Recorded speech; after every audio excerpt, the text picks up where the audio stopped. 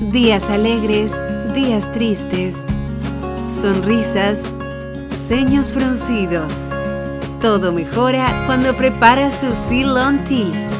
Cuando te sientes feliz, cuando estás triste, incluso cuando la vida te golpea, todo mejora cuando preparas tu Ceylon Tea.